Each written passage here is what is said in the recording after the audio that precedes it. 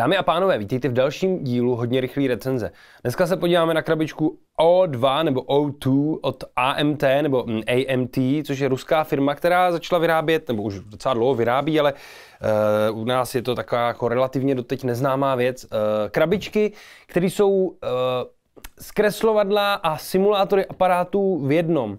Tady ta O2, jak napovídá to Očko a barva toho Očka a té dvojky, je krabička, která simuluje, eh, která simuluje aparáty Orange vlastně nějakým způsobem.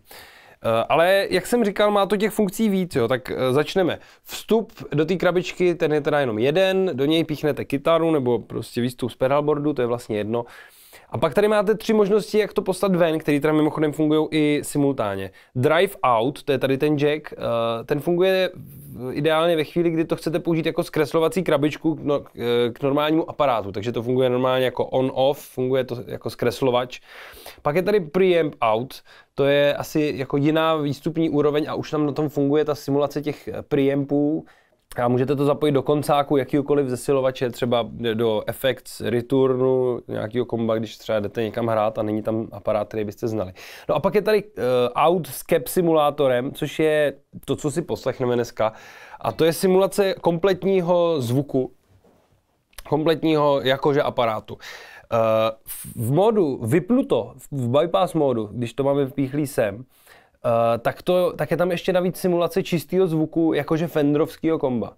A potom, když to zapnu, tak tam je simulace toho, jakože Orange. Tak si pojďme poslechnout nejdřív, jak zní ten uh, čistý zvuk.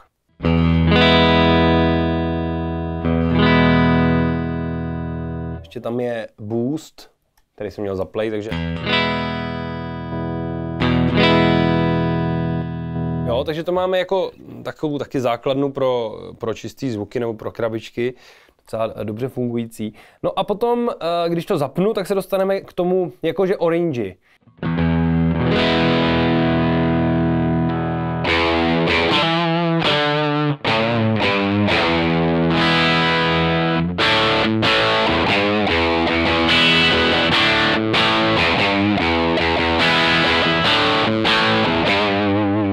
Zkusím se podívat, kam se to dostane, když dám ten gain naplno. Teda slyším, že to začalo trošku, že to bude hodně zesílený, tak tím vykompenzuju tady tím, uh, tou hlasitostí.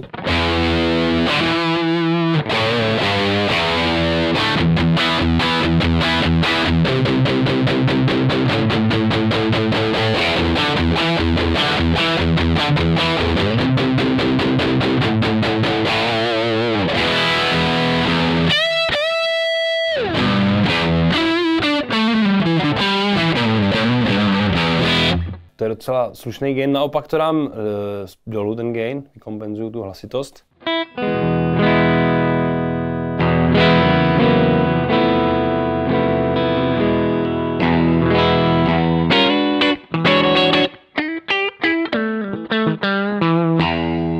Naopak se dá dostat k takovému téměř čistému zvuku.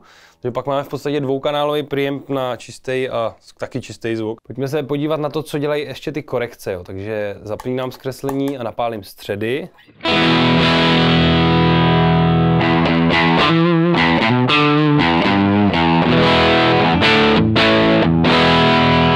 Naopak je uberu.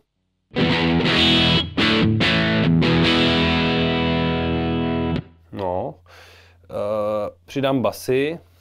No, dáme naplno.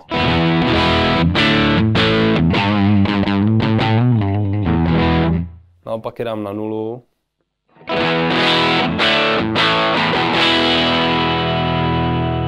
Teď to samý s vejškama.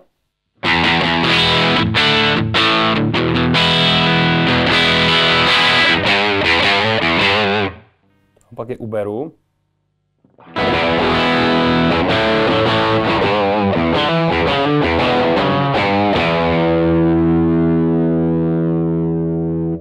Ještě vyzkouším jednu věc, eh, jak to reaguje na dynamiku. No máme tady ten gain na půlce, takže zkusím hrát jakože silou.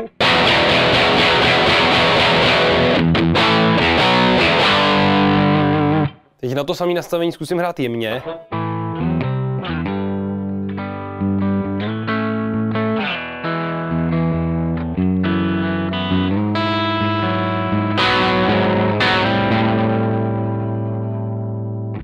Zkusím ubrat poťák.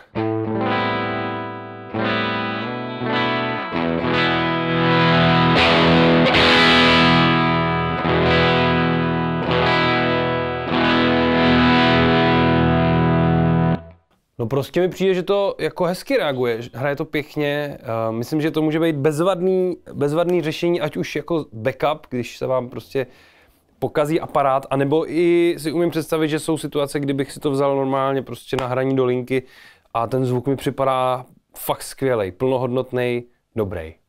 Takže rusové palec nahoru.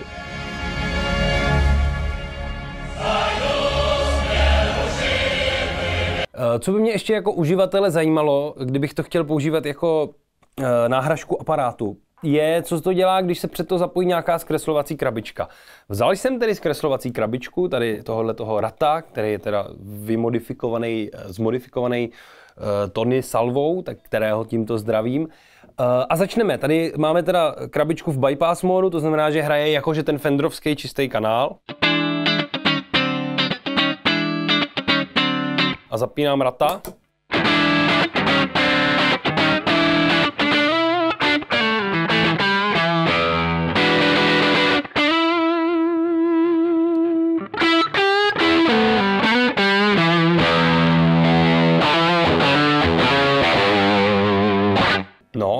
Ještě si poslechneme, co to dělá, když to zapojím do toho orange, jakože zaplýho.